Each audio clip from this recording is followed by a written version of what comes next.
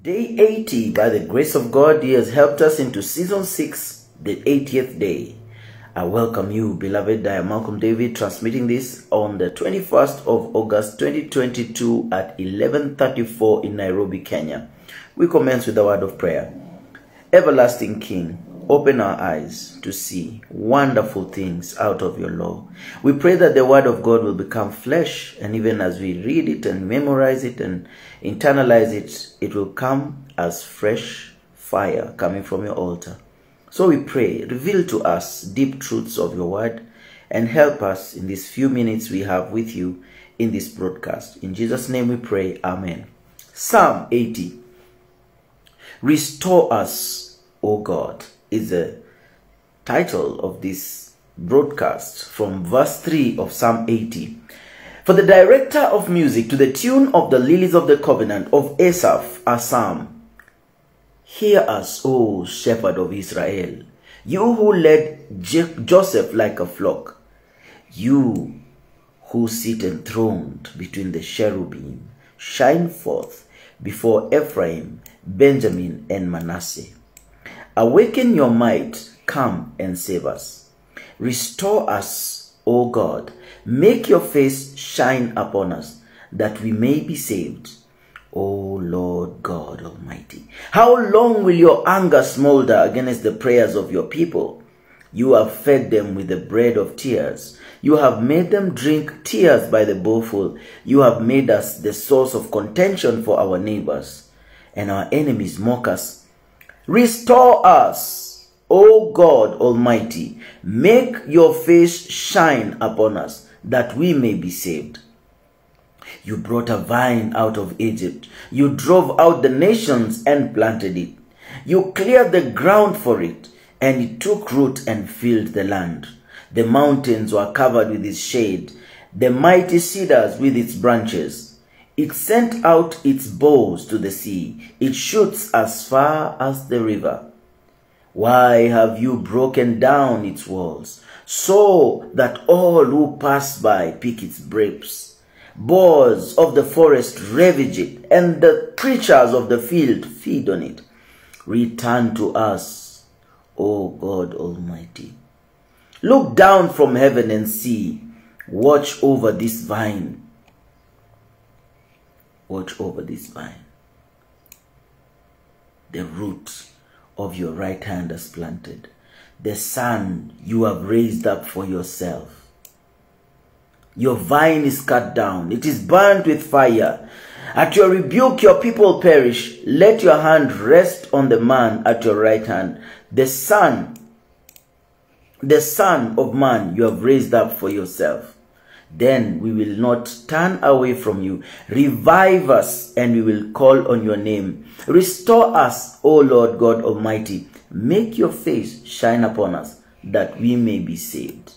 Psalm 80, 1 to 19. The tokens of God's favor is what we have been seeking, and the former blessings are cited as a basis of present deliverance.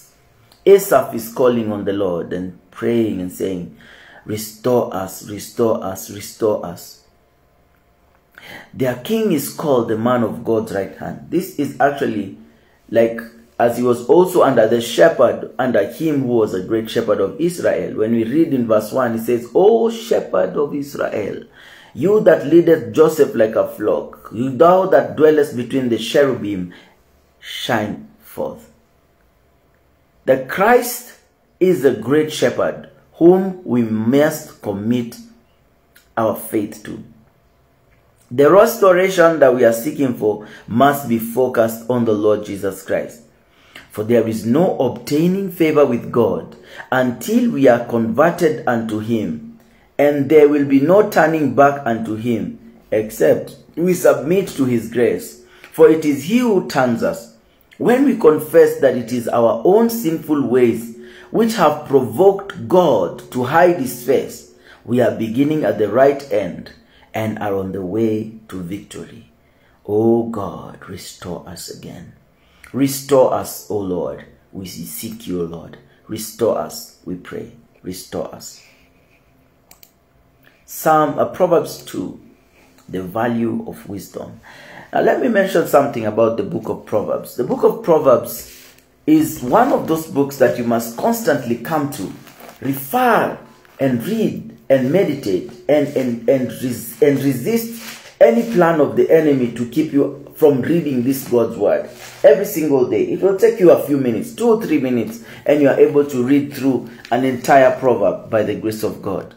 He says, My son, if you accept my words and store up my commands within you, turning your ear to wisdom and applying your heart to understanding. Indeed, if you call out for insight and cry aloud for understanding, and if you look for it as for silver and search for it as for hidden treasure, then you will understand the fear of the Lord and the knowledge of God, and find the knowledge of God. For the Lord gives wisdom, and from his mouth comes knowledge and understanding. He holds success in store for the upright. He is a shield to those whose work is blameless, for he guards the cause of the just and protects the way of the faithful one, then you will understand what is right, what is just and fair, every good path, for wisdom will enter your heart. And knowledge will be pleasant to your soul. Discretion will protect you, and understanding will guard you. Wisdom will save you from the ways of wicked men, from men whose words are perverse, who have left the path of who have left the straight paths to walk in dark ways who delight in doing wrong and rejoice in perverseness of evil, whose paths are crooked and who are devious in their ways. Wisdom will save you also from the adulterous woman, from the wayward woman with her seductive words, who has left the partner of her youth and ignored the covenant she made before God. Surely her house leads down to death and her paths to the springs of the spirits of the dead. None who go to her return or attain the paths of life. Thus you will walk in the ways of the good and keep to the paths of the righteous. For the upright will live in the land, and the blameless will remain in it. But the wicked will be cut off from the land, and the unfaithful will be torn from it. Beloved, this is how wisdom is obtained and used, the unspeakable advantage of true wisdom. In the book of James, chapter 1, verse number 5, we find a principle. It says, If any of you lack wisdom, they should ask. Now, the principle is not only for wisdom, but for any area that there is lack. We need restoration, we should ask. We need provision, we should ask. And when we ask, we must have the, the heart and the mind must speak the same thing. This is where we have to exalt the Lord Jesus above our faith and above our words and above everything. We must put our confidence fully upon the Lord. God has provided that those who are sincerely disposed to do His will will have that knowledge and understanding necessary for them. As you purpose to do the will of God, He will give you the knowledge necessary and the understanding necessary his wisdom will preserve you from men of corrupt principles whose business is to, is to debauch lives and from men and from men and women of corrupt practices. This is what God will do when you have sought him and you're looking to him. God has provided that those who are sincere and are sincere to do his will, that they will they will have the right knowledge and understanding necessary for them. I pray for you May the Lord give you the necessary knowledge and understanding for what you have to undertake. He says that he will, he will, he will, you know, his will is that shall have that knowledge and understanding necessary for them. So may that knowledge and understanding that is necessary for you be released upon you in the name of Jesus. And may his wisdom preserve us and may the Lord restore us. Ecclesiastes 8, beloved of the Lord. Ecclesiastes telling us also more about wisdom, and I encourage you to keep the king's command as it says in the book of Ecclesiastes. You know, heavenly wisdom makes a man a good man. It emboldens you against adversaries, their attempts, their scorn, this wisdom teaches you that sentence may be passed by a righteous judge against all evil works, even though the execution of the sentence is long delayed, that it shall be well at the end for those who fear God. This we see in the book of Ecclesiastes, chapter 8. In fact, I can just read two verses here and then we move on in Ecclesiastes 8 11 and Ecclesiastes 8 12, and that would be a good thing. So it says this When a sentence for a crime is not quickly carried out, people's hearts are filled with schemes to do wrong.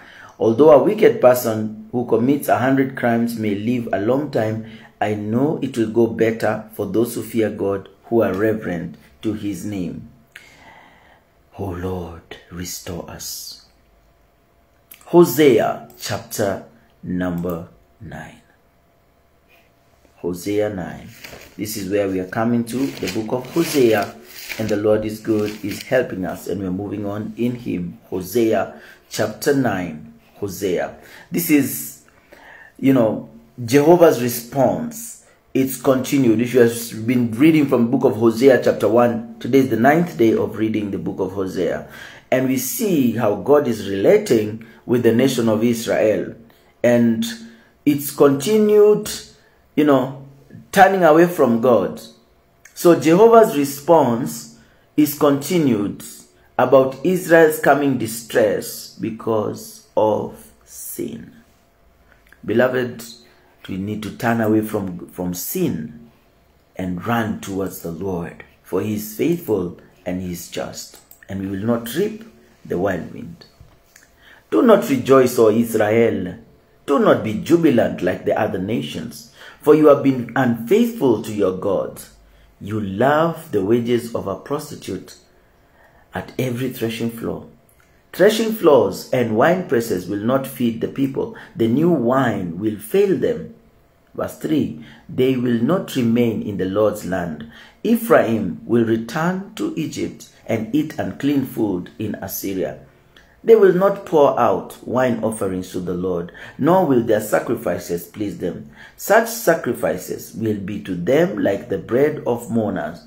All who eat them, all, all who eat them will be unclean. This food will be for themselves. It will not come into the temple of the Lord. What will you do on the day of your appointed feast, on the festival days of the Lord? Even if they escape from destruction, Egypt will gather them and Memphis will bury them. Their treasures of silver will be taken over by briars, and thorns will overrun their tents. The days of punishment are coming. The days of reckoning are at hand. Let Israel know this. Because your sins are so many and your hostility so great, the prophet is considered a fool the inspired man a maniac. The prophet, along with my God, is the watchman over Ephraim. Yet snares await him on all his paths, and hostility in the house of his God. They have sunk deep into corruption, as in the days of Gibeah. God will remember their wickedness and punish them for their sins. Hosea chapter 9, verse 10. Make sure you follow it along in your Bible. Hallelujah. When I found Israel, it was like finding grapes in the desert. When I saw your fathers, it was like seeing the early fruit. It was like seeing the early fruit. Hmm. It says, do not, it says what? This is we in Hosea chapter 9 and the word of the Lord is coming expressly to us. In verse 10 says when I found Israel it was like finding grapes in the desert. When I saw your fathers it was like seeing the early fruit of the fig tree. But when they came to Baal Peor they consecrated themselves to that shameful idol and became as vile as the thing they loved. Ephraim's glory will fly away like a bird.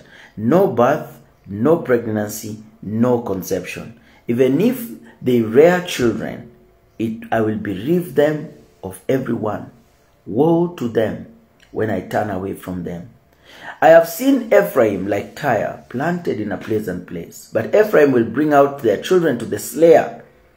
Give them, O Lord, what will you give them?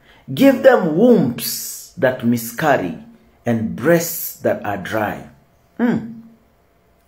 Because of all their wickedness in Gilgal, I hated them there. Because of their sinful deeds, I will drive them out of my house. I will no longer drive them I will I will drive them out of my house. I will no longer love them. All their leaders are rebellious. Ephraim is blighted. Their root is withered. They yield no fruit. Even if they bear children, I will slay their cherished offspring. My God will reject them because they have not obeyed him. They will be wanderers among the nations. Joy is a forbidden fruit to those who have broken covenant with God. Until they return and make their peace with God. If men make things of the world and flesh their portion, it is just with God to deny them the comfort of them and to bring man to the sense of his folly.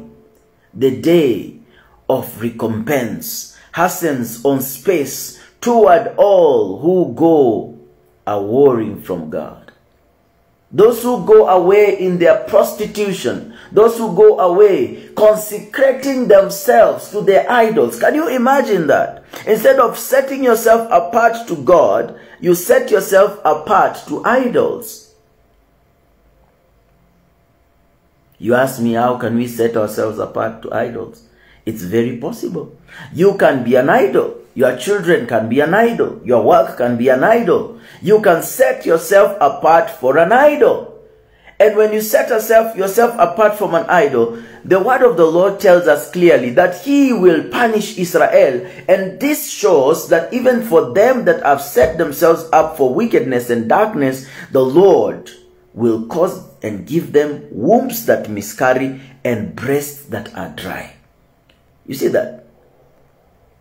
When we see that kind of a situation happening, even among a community, there's a an area where there's a territorial spirit that you find all the women just miscarry their babies. There's no happiness and joy in those families because of certain things in an area. We must pray and ask the Lord to restore us. Beloved, today we commence the lovely book of Romans. Romans chapter 1. Hallelujah.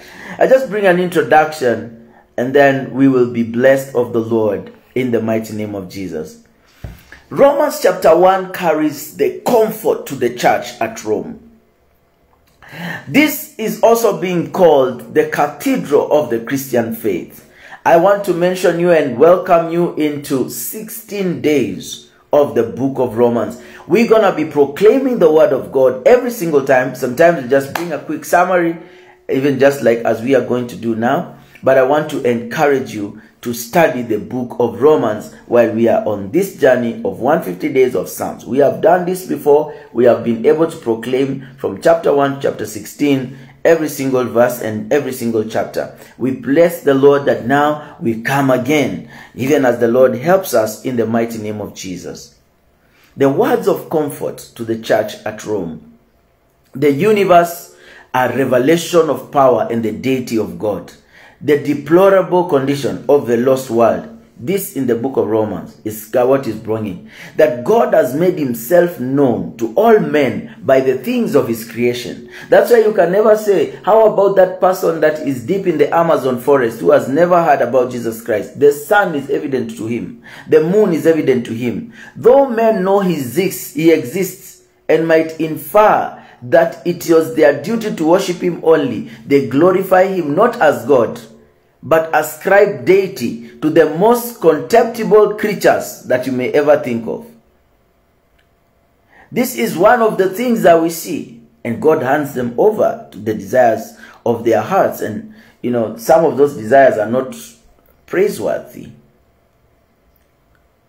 Those who dishonor God will be given up eventually to dishonor themselves.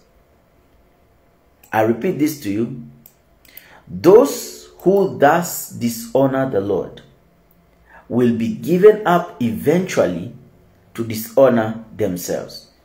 We see the carnality in Romans chapter 1, verse number 24. It says, Wherefore God also gave them up to the uncleanness through the lust of their own hearts to dishonor their own bodies between themselves. The men exchanged their desires for other for women for other men, and the women exchanged their desires for men for other women.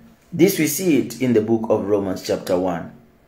The demonstration of the deity of Christ is his resurrection from the dead.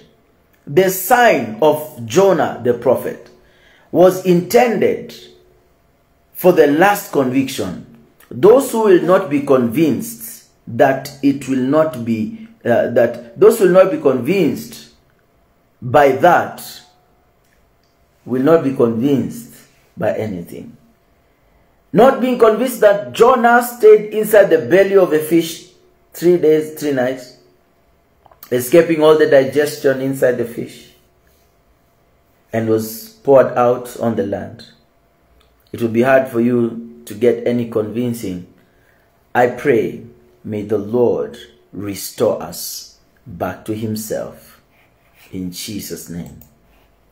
Ephesians 2, verse 8 and 9 it says that it is by grace through faith that you have been saved. Is not of yourselves, it is the gift of God, not by works, lest any man should boast.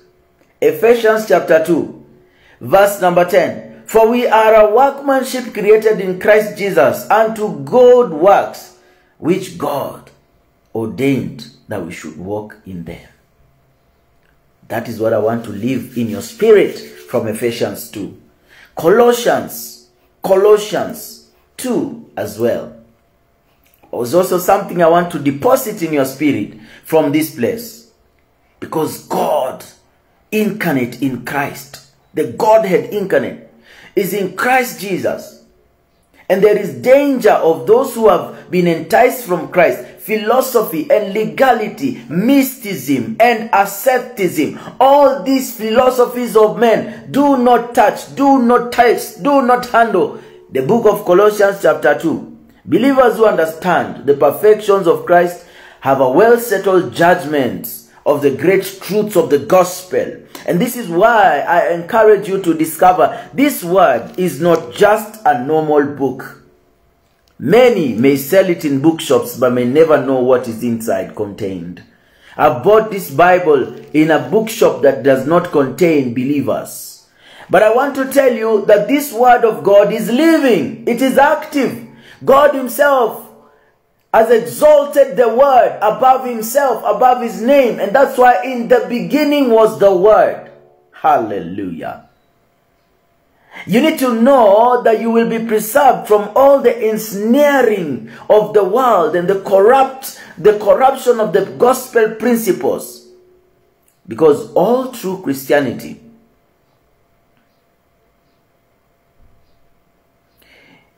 is about the salvation that is complete in Jesus Christ. And we need not to pin our faith on the opinions of philosophers or bear the yoke of ceremonial law. The yoke of ceremonial law is not our portion. Christ alone is the hope of glory, and in him we are complete. Beloved, Colossians 2 verse 10, I'll give you some verses. Colossians 2 3, Colossians 2 6, Colossians 2 7, Colossians 2 8, Colossians 9 and 10. So basically from Colossians 2 verse 3 all the way to verse 10, very strong words. In verse 10 it says, We are complete in him, which is the Godhead of all principality and power. Christ is the head of all the principalities on the power. Christ is the true wisdom of God. And is of God made wisdom to the humble. It says in where we've read in Proverbs 2 that then wisdom will enter your heart. Mm. Discretion will protect you, understanding will guard you. Beloved, it's a joy to ask God. Let the fullness of the Godhead that dwells in Christ rest upon my life. O oh, my Father, restore us again. Revelation 11. Revelation 11. By the grace of God. We come to Revelation 11, and this we will proclaim and then move on and conclude the broadcast by the grace of God. Revelation 11, the word of the Lord from Revelation. Revelation chapter 11. I will proclaim it and then the Lord will help us to conclude. Revelation 11. I was given a reed like a measuring rod and was told, Go and measure the temple of the Lord and the altar and count the worshippers there. But exclude the outer court. Do not measure it because it was being given to the Gentiles. They will trample on it on the holy city for 42 months. And I will give power to my two witnesses. They will prophesy for 1,260 days, draw cloth in sackcloth. These are the two olive trees and the two lampstands that stand before the Lord of the earth. If anyone tries to harm them, fire comes from their mouths and devours their enemies. This is how anyone who wants to harm them must die. These men have the power to shut the sky so that they will not rain during the time they are prophesying. They have power to turn the waters into blood and to strike the earth with every kind of plague as often they want. Now, when they have finished their testimony, the beast that comes up from the abyss will attack them and overpower and kill them. Their bodies will lie in the street of the great city, which is figuratively called Sodom and Egypt where also their God was crucified. For three and a half years, for three and a half days, men from every people, tribe, language, and nation will gaze on their bodies and refuse them burial. The inhabitants of the earth will gloat over them and will be celebrate and will celebrate by sending each other gifts because of the two prophets that tormented them, tormented those who live in the earth. And verse 11 says, but after the three and a half days, a breath of life from God entered them, and they stood on their feet. Terror struck them that saw them, and they heard a loud voice from heaven saying, Come up here. And they went up to heaven in a cloud. At that very hour, there was a severe earthquake. A tenth of the city collapsed. 7,000 people were killed in the earthquake, and the survivors were terrified and gave glory to the God of heaven. The second woe has passed. The third woe is coming soon. The seventh angel sounded his trumpet.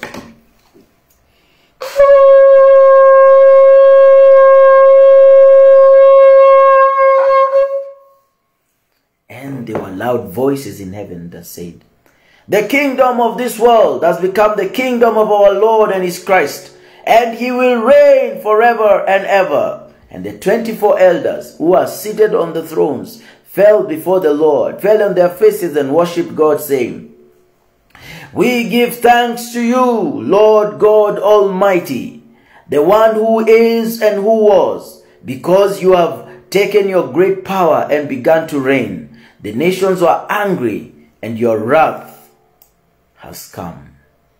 The seventh trumpet is the trumpet of worship. O Lord, restore us. Restore us, O God. You're there, you're not born again. Romans 10 verse 9 says, If you confess with your mouth Jesus is Lord and believe in your heart God raised him from the dead, you shall be saved.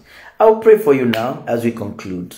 Father, we are here thanking you for connecting us together and for restoring our hearts, Lord. Even for this one that have confessed with their mouth that Jesus is Lord and believed in their heart and turned away from their sin, that Jesus, you reigned and you died for us. Father, we pray even at this night and this day, this afternoon, that you will restore us. We put our confidence in you and put our trust in you.